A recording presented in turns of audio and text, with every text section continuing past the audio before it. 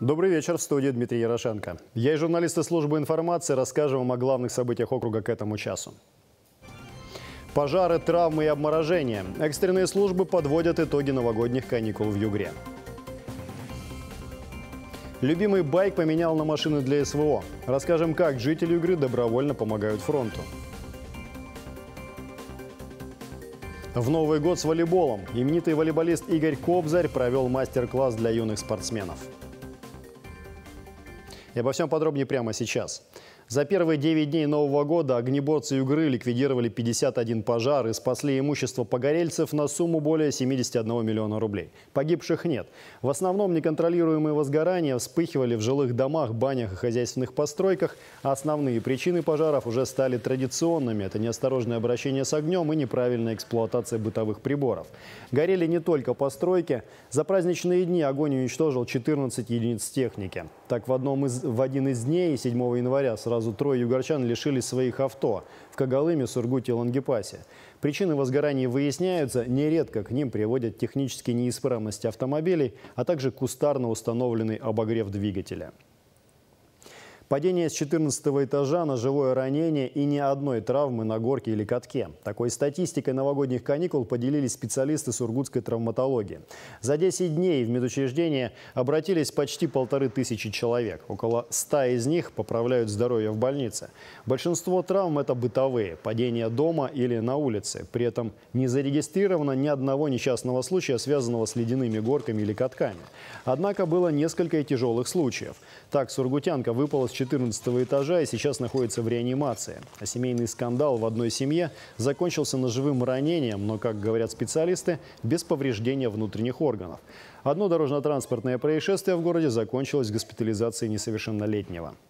Ребенок 12 лет э, пострадал в ДТП, находился на заднем сиденье автомобиля и во время аварии вылетел через лобовое стекло.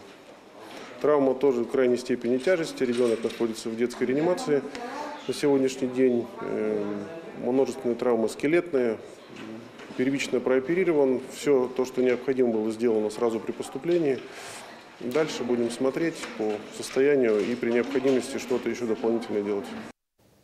Десять угорчан госпитализировали в новогодние каникулы в ожоговый центр Сургутской городской клинической больницы с обморожениями. К счастью, все они получили холодные ожоги, которые не предполагают ампутации конечностей. Детей в списке пострадавших от низких температур нет. Взрослые же в большей степени попадали в ожоговый центр с обморожениями в состоянии алкогольного опьянения. По словам медиков, алкоголь с долгими зимними прогулками несовместим. Под шофе притупляются все органы чувств, в том числе и осязательные. Большая часть из пострадавших просто не смогла вовремя заметить, когда получила обморожение.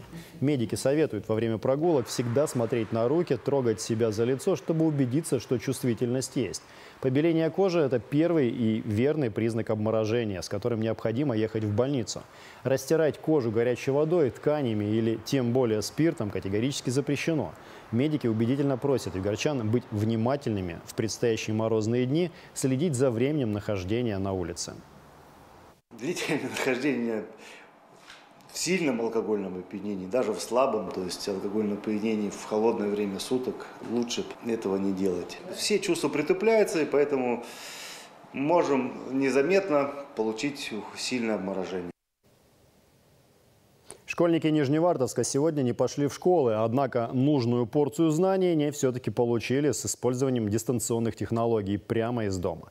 На такую форму обучения все образовательные учреждения перевели по решению санитарно-эпидемиологической комиссии, а о его причинах вы узнаете в следующем материале.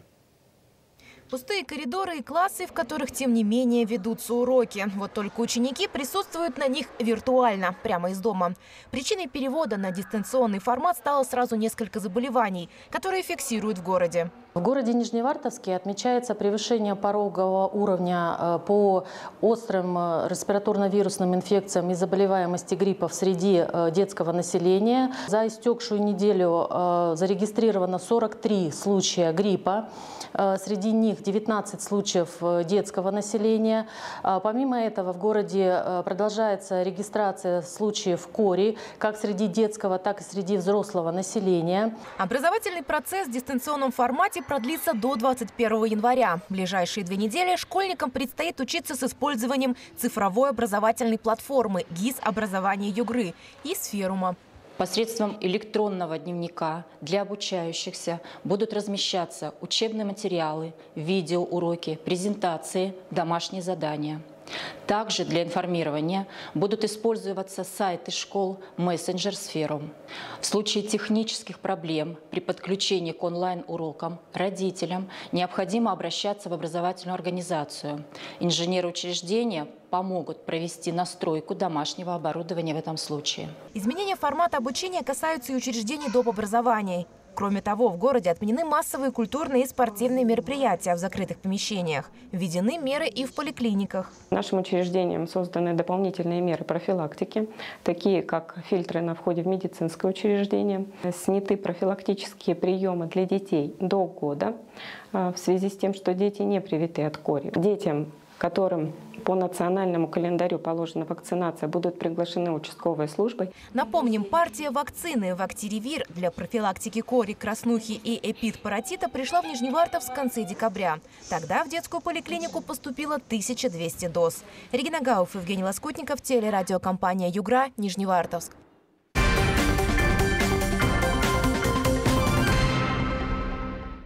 Югорчане смогут предложить свои идеи улучшению качества жизни в стране. Дело в том, что в Ханты-Мансийске открыли общественную приемную кандидата в президенты России Владимира Путина. Здесь жители смогут задать вопросы о выборах, а также оставить свои пожелания и инициативы по благоустройству своего города, района или округа. Общественная приемная работает со вторника по субботу с 10 до 17.00 на базе регионального штаба кандидатов в президенты по адресу Энгельса 45 в Ханты-Мансийске. Обратиться с предложениями можно нужно будет до выборов президента, которые пройдут с 15 по 17 марта. Приемная – это то место, где каждый житель автономного округа может поделиться своими идеями, предложениями, инициативами с Владимиром Путиным. Э, все идеи, все предложения будут учтены в предвыборной программе кандидата на должность президента Российской Федерации. Э, мы очень рады всем идеям от наших жителей автономного округа, потому что главный принцип команды игры – это люди, жители, наши помощники, э, главная движущая сила э, изменений всего нашего автономного округа.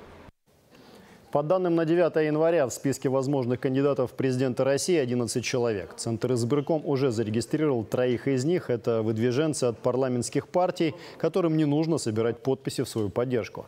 Лидер ЛДПР Леонид Слуцкий, вице-спикер Госдумы от партии «Новые люди» Владислав Даванков, а также председатель Комитета Госдумы по развитию Дальнего Востока и Арктики, выдвиженец от КПРФ Николай Харитонов. Остальные кандидаты приступили к сбору подписей, либо ведут подготовку. На эту процедуру по закону отведен весь январь. Центр избирком должен принять решение о регистрации всех кандидатов не позднее 10 февраля. В эти особые для православных дни между Рождеством и Крещением у югорчан будет возможность прикоснуться к частице мощей святителя Николая. Сегодня ковчег с реликвией прибыл в Сургут. Он пробудет в Троицком кафедральном соборе до 11 января. Потом приложиться к мощам святого и попросить его поддержки смогут прихожане храмов в Мегионе, Нижневартовске, поселке Солнечном Сургутского района, Нефтеюганске и Ханты-Мансийске. Святителя Николая Чудотворца почитают во всем мире. Принято считать, что он покровительствует путешественникам. А прихожане, которым посчастливилось приложиться к его мощам, утверждают, что рядом с ними чувствуется особая благодать. То, что реликвия обладает особыми свойствами, подтверждает митрополит Сургутский Ханты-Мансийский Павел. Сегодня он провел службу в Свято-Троицком кафедральном соборе и делился с прихожанами историями из своего опыта. Ему довелось четыре года служить в храме в Риме рядом с гробницей святителя Николая. Мощи будут находиться в игре до 17 января. Для меня это очень-очень э, важный святой. Э, под его мафором я служил 4 года в святителя Николая соборе э, в Сан-Франциско, 4 года в Риме. Вот, ощущая его всегда помощь, силу. Вот, это самый один из почитаемых моих святых. Поэтому я надеюсь, что и здесь его тоже очень любят, знают. многие ездили в паломничество. Ну и так-то всегда в каждом доме Спаситель Божьей Матери, святитель Николай, это, как правило, всегда в каждом доме была, была икона. Специальный раздел для всей семьи военнослужащих создадут на сайте Ханты-Мансийской епархии. Об этом говорили на встрече митрополита Павла с членами семей участников специальной военной операции. Среди приглашенных были родственники погибших воинов. Во время мероприятия также обсудили такие меры поддержки уже существуют в округе для семей военнослужащих и других нуждающихся югорчан. Например, на базе церкви действует гуманитарный православный центр «Твори добро», который помогает по разным направлениям. Также туда можно обратиться для получения психологической поддержки. В первую очередь помощь получают находящиеся в зоне спецоперации, а также малоимущие люди.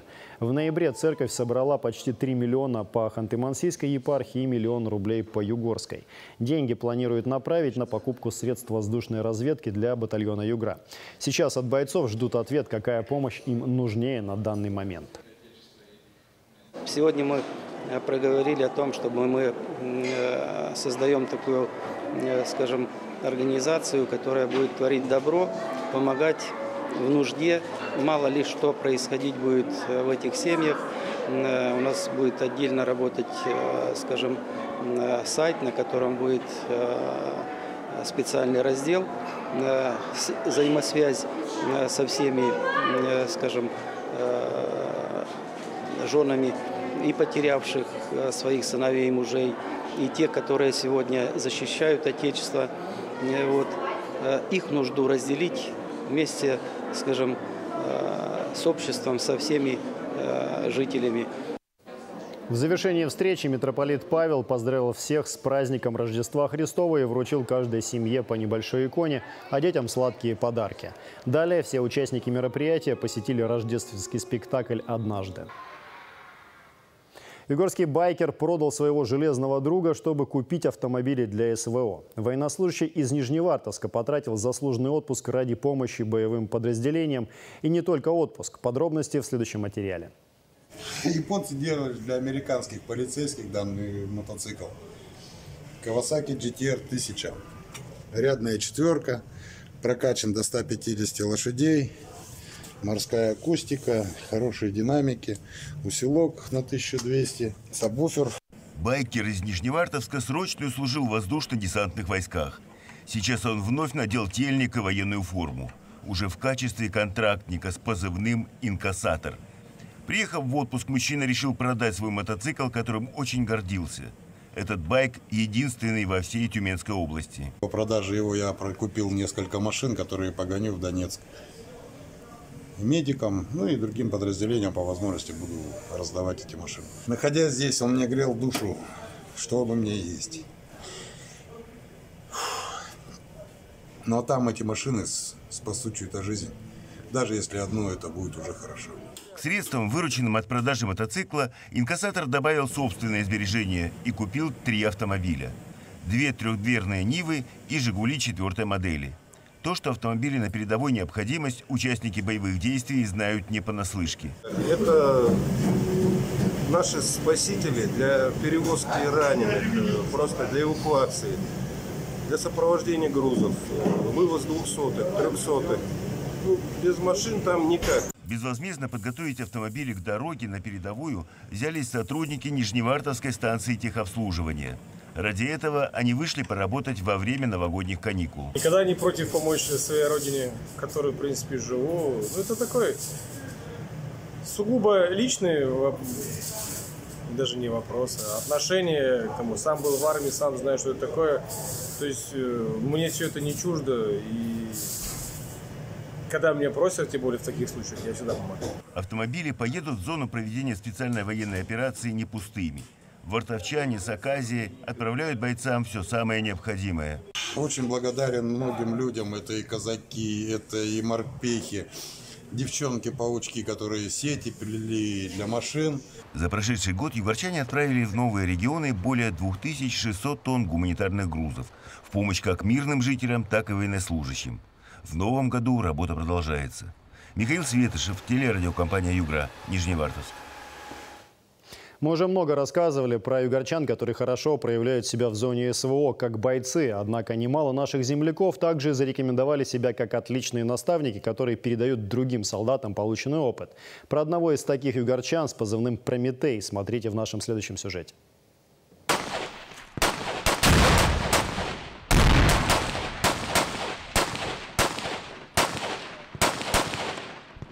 Учения в условиях, максимально приближенных к боевым. Такие в штурмовых частях проходят регулярно, даже во время ротации, чтобы не потерять навык. Вблизи бойцов стреляют из самого разного вида оружия, чтобы они привыкали к свисту пули. Исключение составляют гранатометы и огнеметы, которые переберегают для боя. Уж больно велика их разрушительная сила. Это ГМ-94, только с термобарическим зарядом. То есть это раньше был гранатомет, гранатами стрелял, а сейчас это вот да, да, та же самая граната, то ли только заряд термобарический. Создается аэрозольное облако, которое детонирует и создает высокую температуру. Это как дробовик, да, он получается? Да, как помповое ружье. Отдача у него не сильнее, чем у обычного автомата. Прицельная дальность 300 метров. Боец с позывным «Прометей» родом из Сургута, командует огнеметным подразделением и передает свой опыт другим. Его задача в бою – огневая поддержка штурмовых групп. За больше чем год службы на СВО прошел буквально огонь и воду. За год принципиально что изменилось в войне? Ну, наверное, стали более профессиональные. А, как бы, когда год назад я сюда пришел, смотрел на все большими глазами, все было дико, жутко.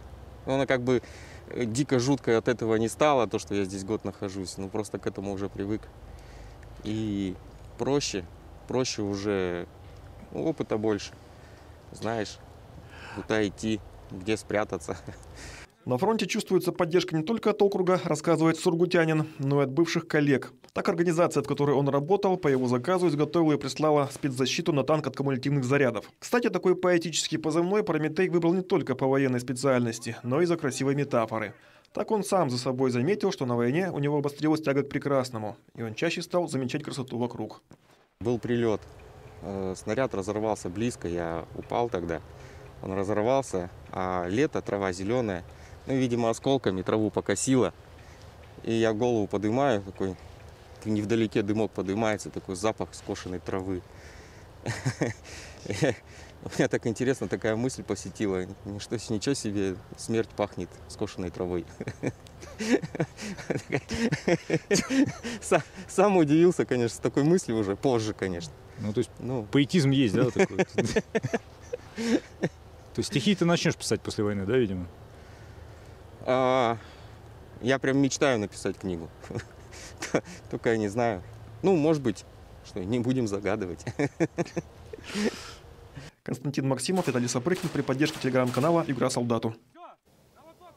В Новый год с волейболом. В Сургуте год семьи, объявленный президентом страны, символично начался с тренировки под руководством представителя спортивной династии Игоря Кобзаря. Российский волейболист начинал карьеру в сургутском клубе «Газпром Югра». Тренировали тогда мальчика мама и папа. Они работают тренерами. Сейчас уже именитый спортсмен провел занятия для нынешних воспитанников своих родителей. Я выполнял всевозможные такие упражнения. И вот как раз типа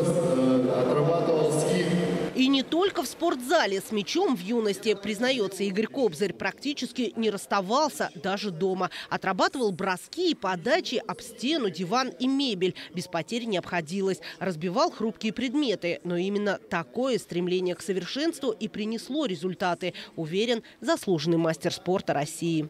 Сейчас это я пожинаю плоды позитивные, но тогда я разбивал много люстр, ваз, э, ругался с родителями, но, говорю, мяч не, не оставлял меня в покое, поэтому я советую детям, кто хочет добиться результатов, любить и вот эти свои действия оттачивать даже, даже дома. Связующий питерского «Зенита», участник Олимпийских игр 2016 года Игорь Кобзарь начинал свою профессиональную деятельность в команде «Газпром Югра». Он из династии волейболистов. Его родители работают тренерами в Сургуте. Именно мама стала его первым наставником, а сейчас уговорила сына провести мастер-класс для юных сургутян. Главными организаторами Организаторами выступили администрация и Дума города Сургута. В программе не только теоретические советы, но и полноценная тренировка. Упражнения не только для новичков, но и те,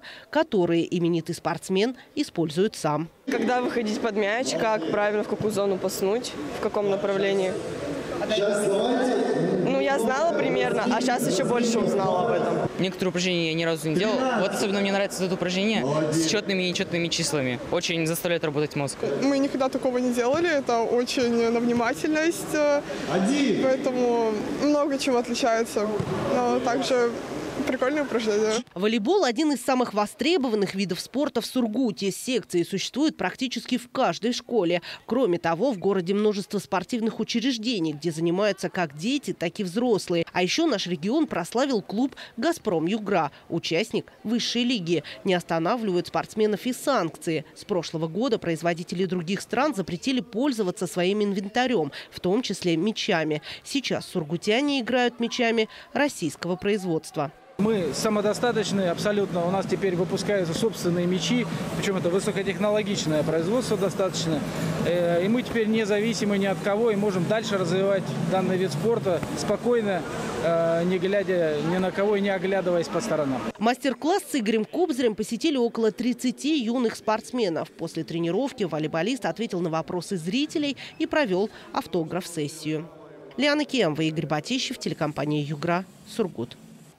У меня на этом пока все. Будьте в форме и не сходите с дистанции. С вами был Дмитрий Ярошенко. Далее прогноз погоды и коммерческая информация.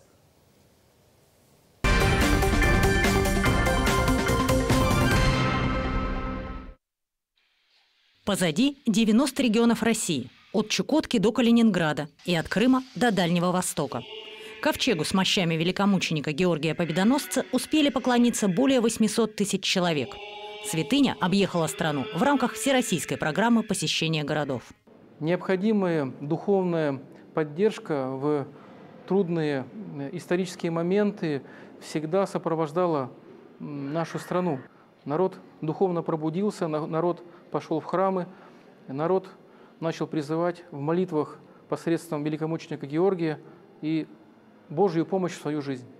В подмосковном Солнечногорске заключительная точка – Здесь 30 декабря в храме Георгия Победоносца совершили литургию, завершающую крестный ход святыни. Среди присутствующих – соучредители группы компаний «Сибпромстрой».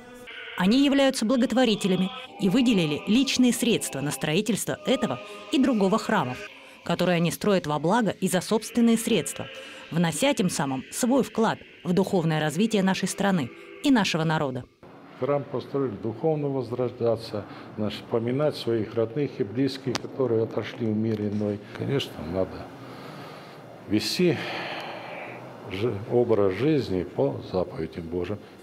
Двери всегда открытые. Люди со счастьем, с горем приходят сюда. Уходят, я надеюсь, удовлетворенные или с надеждой. Это стоит чего-то. Отметим, что в рамках программы ранее мощи святого побывали и в Сургуте, в храме, который был построен в честь Георгия Победоносца.